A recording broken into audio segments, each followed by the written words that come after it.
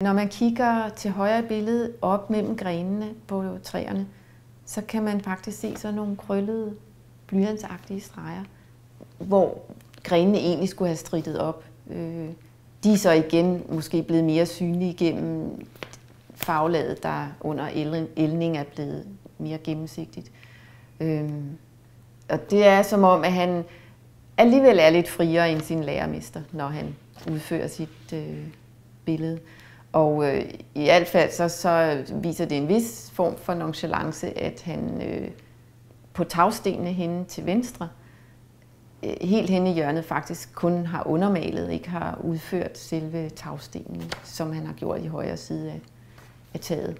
Så øh, det er en lidt friere hånd, øh, vi ser hos Købke. At undertegningen nogle gange afslører kunstners proces, det ser vi også i sådan spillet.